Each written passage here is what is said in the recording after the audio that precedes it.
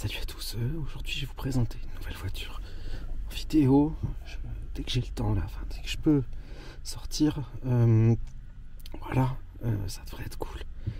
Euh, en fait c'est... Ah Putain, il est là. Non attends, attends, je savais pas que c'était ta caisse, je savais pas que c'était... Moi j'étais pas là et c'est pas moi qui l'ai abîmé ta voiture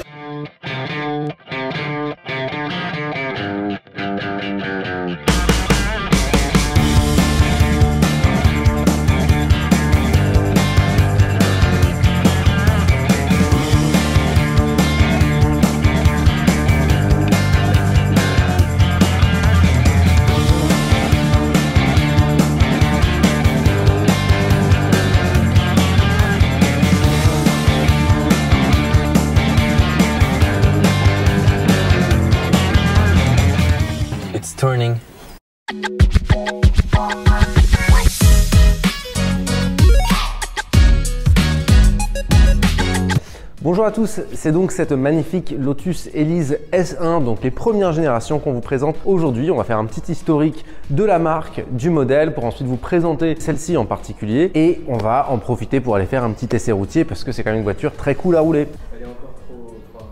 Oh, Fradé, tu me casses les couilles, hein Lotus a été fondé en 1952 au Royaume-Uni par Colin Chapman, qui n'est pas du tout le grand-père de Tracy Chapman. C'est un autre Chapman très sympathique. Ingénieur à la Royal Air Force, il a commencé à construire ses voitures de manière un petit peu confidentielle au début pour ensuite se développer et lancer, on va faire rapidement, mais pour lancer en 1957 la Team Lotus qui s'inscrit donc en compétition et qui deviendra rapidement une grosse écurie de F1 qui a le succès qu'on lui connaît aujourd'hui, qui va ensuite perdurer dans la fabrication de voitures plaisir. C'est donc cette même année de 1957 que paraît la première véritable Lotus qui a connu du succès, la Lotus 7, qui a été un carton et qui a par la suite été reprise par la marque Caterham. Donc c'est dans les années 60 que Lotus connaît son premier gros succès avec une voiture qui a été produite à un certain nombre d'exemplaires avec la Lotus Elan. Et il faudra attendre 1996 pour qu'apparaisse cette vraie première euh, voiture de grosse production, de grosse série. Quand je dis grosse série, hein, c'est pas une Twingo, mais euh, de grosse série pour une voiture sportive. C'est donc la Lotus Elise présentée au Salon de l'Auto de Paris en 1996. Le principe de Lotus, qui est vraiment sa devise, c'est Light is Right. Donc ce qui est léger et juste. C'est vraiment tout ce qui régit la marque euh, à ce moment-là, c'est de faire une voiture légère pour avoir des performances avec un petit moteur. Cette Lotus Elise rencontre un véritable succès auprès de la presse pour deux raisons. Sa tenue de route qui est phénoménale et ses performances, et ce malgré son tout petit moteur. Parce qu'on a vraiment un petit moteur avec une faible puissance, mais un poids tellement tellement léger que c'est suffisant pour l'emmener très très loin. En effet, donc cette voiture est équipée d'un châssis en aluminium qui n'a pas de soudure, mais tout est collé à l'époxy qui est par la suite cuit pour avoir une dureté suffisante pour maintenir les jonctions, mais du coup pour gagner du poids. La Renault Spider, par exemple, est une voiture avec un châssis aluminium qui est soudé et qui est nettement plus lourd que celui de la Lotus Elise. Cette voiture, son châssis à nu pèse 65 kg, ce qui est absolument ridicule. C'est à peu près mon poids, à peu de choses près. Euh, donc voilà, c'est très très peu. Pourquoi tu souris? Pourquoi tu souris C'est un truc euh, Hmm. que j'avais lu hier euh, dans Mickey Hmm. Journal. D'accord. Lequel de Mickey Journal Parce que je l'ai lu, donc dis-moi ce qui était drôle. Euh, quand il y avait la blague sur euh, Daffy Duck. Elle n'était pas drôle du tout. Bref. Vous l'aurez compris, Lotus ne mise pas sur la puissance, mais sur le poids.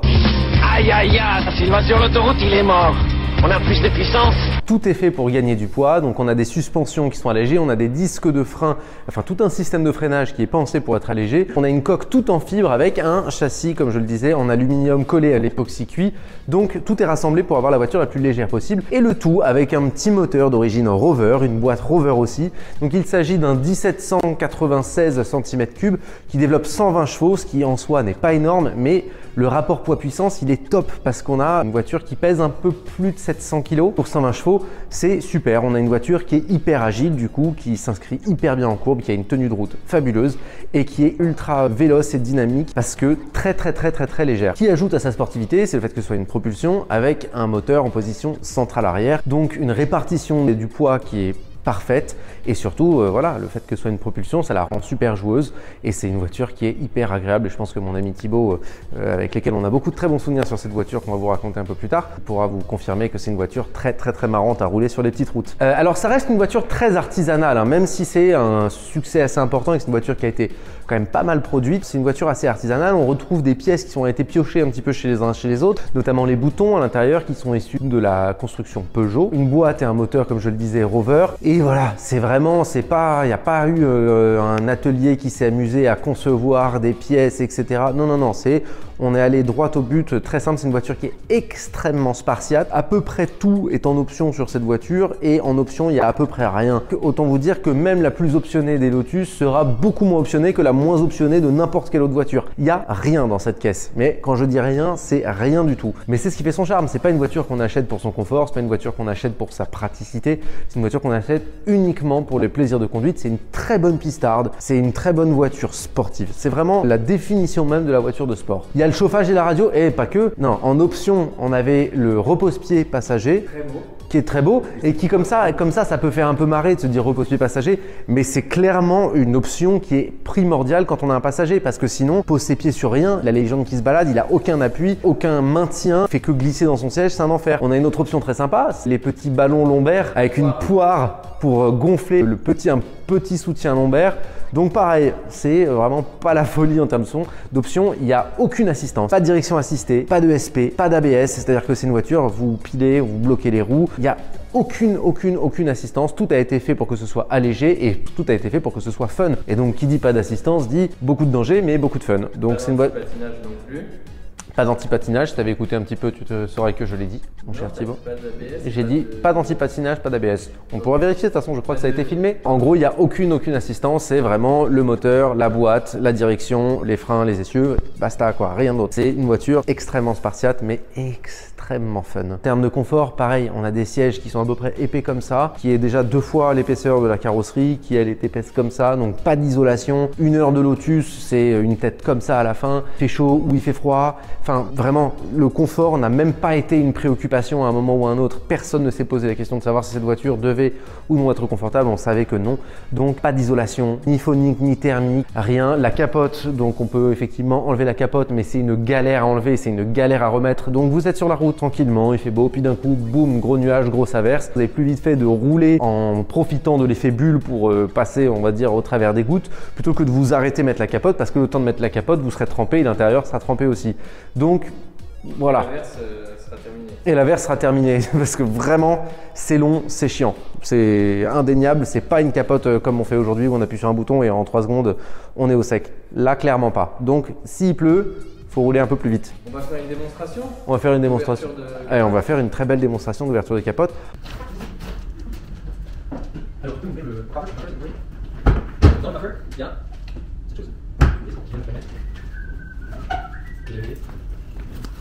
Ah, je vais dans le bordel, toujours. Allez, toi. Ouvre la porte.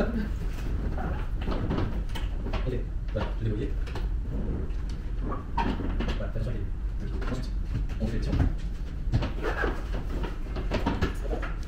Et bien. Va. Ah, on va.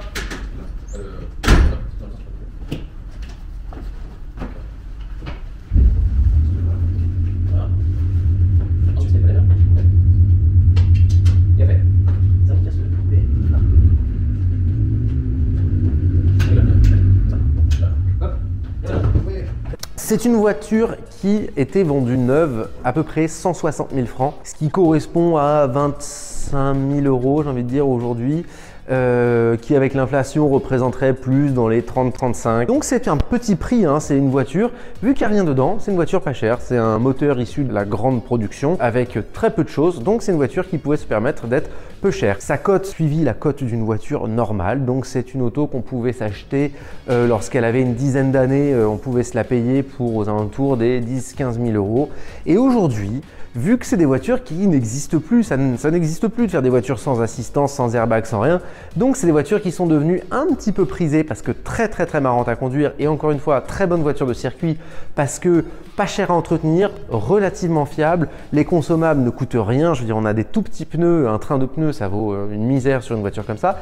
Donc c'est des voitures qui ont pris de la cote et qui aujourd'hui un bel exemplaire va se négocier entre 20, 25 et 30 000 euros en fonction de son kilométrage et de son pédigré, qui est plutôt cool. C'est une voiture qui a été un bon investissement. Il y a 15 euh, ans, on les payait 10-15 000 euros et aujourd'hui elles ont doublé, ce qui franchement est pas dégueulasse en, si peu de temps. On va aller faire un petit tour à l'intérieur pour voir les options, hein, pour voir la config et surtout pour me voir monter dedans parce que c'est vraiment un truc. euh, voilà, la plus grosse épreuve quand on a une, Lotus Elise, c'est de monter dedans et d'en sortir. C'est un vrai truc. C'est pas genre tu la porte, tu rentres, tu t'assieds tranquillement, tout va bien. Non, non, non, c'est ça se réfléchit quoi. Ça, ça- c'est vraiment un truc qui se bosse. Vous allez me voir rentrer dans cette voiture.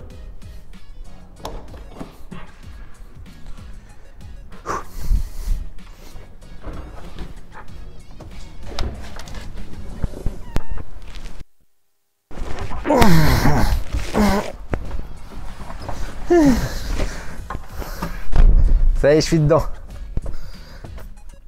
Donc, comme je disais à l'intérieur, on retrouve euh, bah, bah, pas grand chose. On a un tout petit volant, archi cool, qui est trop sympa à tenir, qui tombe trop bien dans les mains. Un levier de vitesse, pareil, hein, c'est droit au but, c'est une barre, une boule. Et euh, des petits compteurs, enfin les, le compte tour et compteur de vitesse. Vraiment, il n'y a rien du tout. Là, on a les 5 boutons qui sont, enfin, dont un qui est un four, hein, donc 4 boutons qui viennent d'une Peugeot 205. On a le, le chauffage et l'autoradio. Et c'est tout, rien d'autre. Les vitres sont manuelles, euh, les sièges c'est du béton. Bref, il n'y a rien dans cette caisse. Vraiment rien de rien de rien. Mais bon, il n'y a pas besoin de grand chose au final parce que tout ce, qui nous intéresse, c'est le châssis et le moteur. Le châssis est assez intéressant. Si on ouvre la porte, on voit qu'on est vraiment à l'intérieur du châssis. On rentre littéralement dans la voiture. On est plus bas que le, châssis. Quand on a les fesses posées plus basses que le châssis. Donc on est vraiment sur le plancher de la voiture. Et ça, c'est assez marrant. Et c'est ce qui lui donne son centre de gravité qui est exceptionnel. Et du coup, sa tenue de route qui est franchement incomparable. Ça fait penser à une baignoire. On rentre vraiment dans un creux. Et ça, c'est plutôt, plutôt marrant. C'est ce qui rend l'accès extrêmement difficile, mais c'est plutôt marrant. Donc voilà, cette voiture, elle est hyper cool. Et alors, le tout couplé avec une répartition des masses qui est proche de la perfection. Et c'est une très très très bonne voiture pour se faire la main sur circuit parce que euh, parce que c'est léger, euh, c'est pas très puissant, mais du coup, ça a tout ce qu'il faut sans aller trop trop loin non plus. Vraiment vraiment cool. Ce qui est incroyable avec ce châssis, c'est à quel point il a la capacité d'encaisser. C'est-à-dire que on a une voiture qui fait 120 chevaux, ce qui est vraiment pas énorme, mais à 120 chevaux, vous n'êtes pas à la moitié de la puissance de ce qu'il peut encaisser ce. Par la suite, les, di- les différentes versions, que ce soit en Elise ou en Exige, ont eu des motorisations nettement plus importantes qui allaient jusqu'à 220 chevaux, même si je dis pas de bêtises sur les versions d'après. Je propose qu'on jette un petit coup d'œil au moteur, qui a rien d'extraordinaire, mais il est super et qui marche très bien quoi.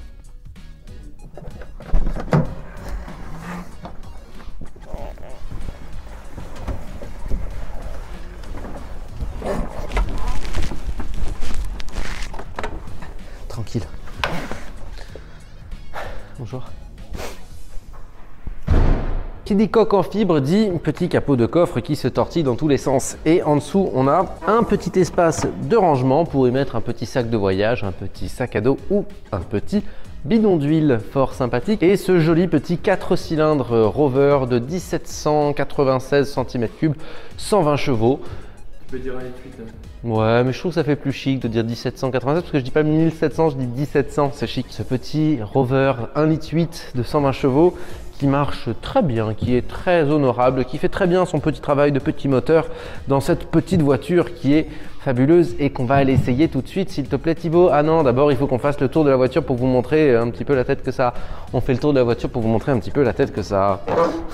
Alors cette voiture, hein, ça ne vous aura pas échappé, vraiment, elle a été dessinée à une époque où on parlait de l'an 2000, tu vois, comme un truc de ouf qui allait arriver. Ça se voit, elle est, vraiment dans la veine de l'époque avec ces petits feux là et ces arrondis euh, très très bulles. Euh, à l'époque, on aimait bien faire vraiment des voitures un petit peu rondes, etc., un peu dodues. Et bien c'est ce qu'on a fait sur cette petite voiture avec ce double échappement central qui est hyper sympa et ces deux petits, enfin ces, deux doubles petits feux à l'arrière. On a vraiment une voiture qui ressemble à un petit insecte ou un- une voiture télécommandée. Tout petit, c'est très ramassé, c'est très affûté et elle a franchement une bouille très sympa, très mignonne. De l'avant pareil avec les deux grandes aérations qu'il y a sur le capot et euh, les petits feux qui de base n'avaient pas de vitres, qui étaient creux, qui étaient taillés vraiment dans la carrosserie. Alors beaucoup ont mis comme l'ancien propriétaire de celle-ci ont mis des petits des verres pour couvrir ses feux, pour lui des bulles.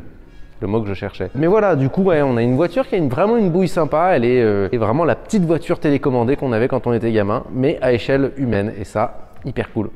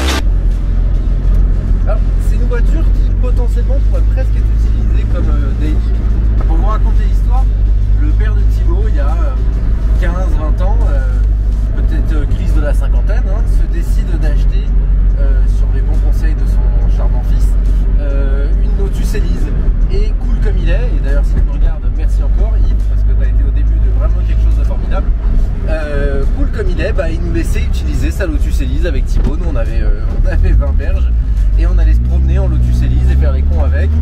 Et c'était super cool. Et ça a été notre première voiture. euh, Je dis qu'on avait 20 ans il y a 20 ans. il y a 15 ans quoi. C'était, on avait 18-20 ans et c'était il y a, il y a Ouais, une quinzaine d'années quoi. Et ça a été notre première voiture de sport qu'on a eu l'occasion de rouler et c'était incroyable.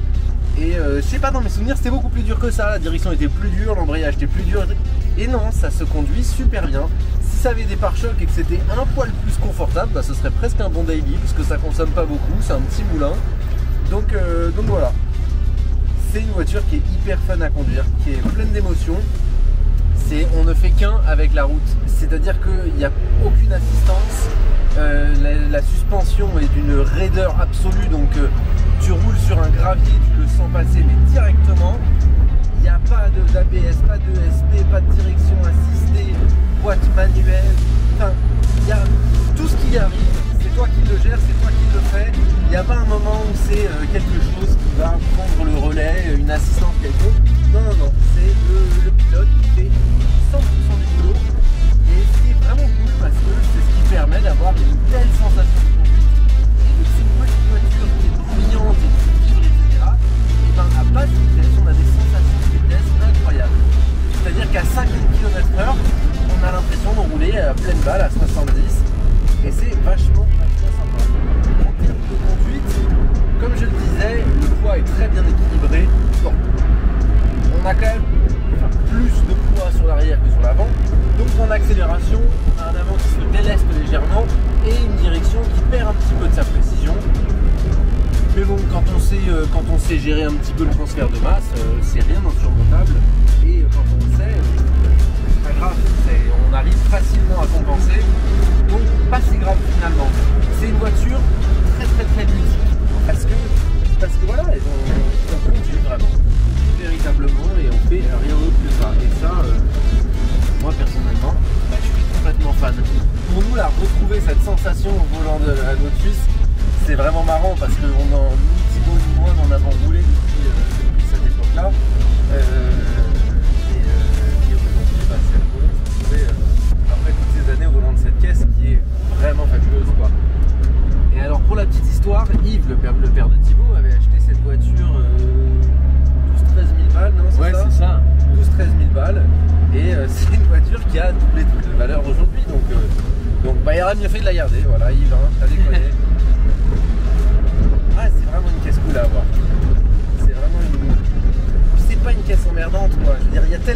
dedans qu'il n'y a rien qui peut tomber en panne. Il n'y a que le moteur. Et le moteur, euh, je veux dire, c'est un 4 cylindres Rover, c'est pas non plus le, le moteur le plus, euh, le plus capricieux de la planète. Donc, euh, franchement, c'est c'est que du bonheur. cette- oh, l'expression de merde.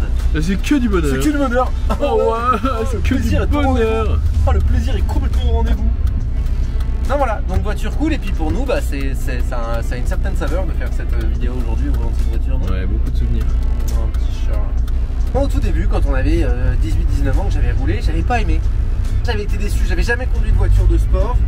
J'avais conduit une fois une BM euh, 328i, donc qui avait une certaine pêche, et qui était en même temps assez cossue. Et là, je me suis retrouvé un peu déstabilisé sur cette voiture qui était hyper spartiate, il n'y a rien dedans, il n'y a aucun confort. Donc, ouais, j'avais pas trop compris le délire. Et euh, il m'a fallu deux trois fois pour me dire ok en fait c'est vraiment dingue quoi. C'est vrai que voilà quand t'arrives tu te dis voiture de sport, voiture chère, voire voiture luxe, tu t'attends à un truc euh, et t'es rapidement un peu un peu déçu. Mais parce que t'attendais pas les bonnes choses. Ouais, il faut un peu d'expérience. euh, C'est ça, faut un peu d'expérience et puis c'est une voiture, je veux dire, tout est droit au but dans cette voiture, il n'y a, pas de- il y a pas de filtre, il n'y a aucun filtre nulle part. C'est, euh, encore une fois, c'est le pilote qui fait un avec la machine et euh, et il n'y a, rien- il y a, il y a rien entre le pilote et la voiture. Et Il n'y a pas de turbo, il n'y a, pas, de, boîte auto, voilà, il n'y a rien il n'y a qui- pas d'assistance. Non, c'est ce qui même les, même les commandes, il n'y a, il y a rien, il n'y a, y a- il y a pas de manomètre de rien, il y a même la y a juste écrit la température sur le petit écran euh, euh, cristaux liquide, euh, 84 degrés, 85 degrés, euh, il y a écrit le- le- le- les litres de carburant, il n'y a même pas une jauge, enfin Sans Patrick Fioriture. c'est une voiture, une voiture sans Patrick Fioriture. Tu reviens,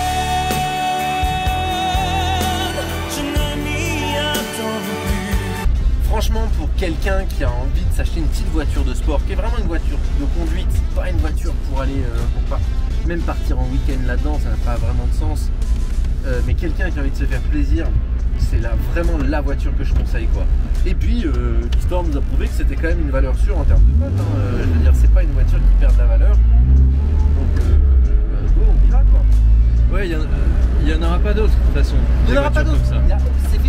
Plus jamais il y aura une bagnole atmosphérique, boîte méca, sans. Putain, il n'y a pas d'airbag, il n'y a pas de SP, il n'y a pas d'ABS,